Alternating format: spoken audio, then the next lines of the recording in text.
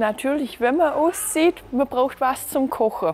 Also auf jeden Fall Töpfe. Wenn man allein ist, reichen oft zwei Töpfe, in größere für Nudeln, größere Sachen und ein kleinere, wo man Gemüse, Soße, einfach die kleinere Sache drin macht. Und am Anfang reicht auch natürlich Edelstahl. Also man braucht nicht, weiß Gott, wie das neueste Kochgeschirr. Und natürlich auch eine Pfanne, weil wenn man ein saftiges Steak oder sowas mal machen will, braucht man auch eine Pfanne, auch für den Pfannekuchen.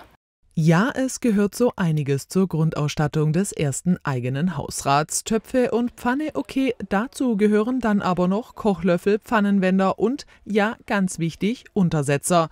Neben Dosenöffner und Achtung, dem Sieb wird das häufig vergessen. Und ist das Essen gekocht, geht es ans Geschirr. Hier hat die Expertin einen Tipp.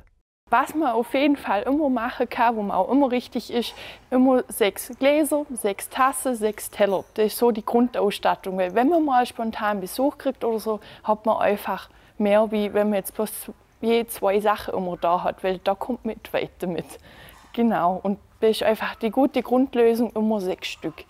Auch bei Schüsseln gibt es Sets. Hier lautet die Empfehlung für den Anfang aber, eine mittlere Schüssel reicht. Dafür lieber noch in Mixer, Rührgerät und Wasserkocher investieren. Aber Vorsicht, nach dem Auszug nicht gleich übertreiben. Vor allem muss man sich immer vorstellen, wie viel Platz habe ich. Da muss man, das muss man sich vor Augen halten, weil oft am Anfang sind es kleinere Küche. Da kann ich, weiß Gott, wie große Schüssel, Töpfe oder sonstiges mit reinpacken wo man darauf achten kann, was ich auch kleiner machen kann. Ganz wichtig. Somit habe ich wieder ein bisschen mehr Platz und einfach nachdenken, brauche ich jetzt einen Brotkorb, einen. Man muss halt so denken, was nutze ich wirklich. Weil im Endeffekt ist das eben seine Entscheidung. Kann man schwer sagen, was kaufe ich jetzt viel, was kaufe ich zu wenig. Es kommt immer auf die Person auch drauf an. Also besser klein anfangen beim ersten eigenen Hausrat. Okay, so klein dann vielleicht auch wieder nicht.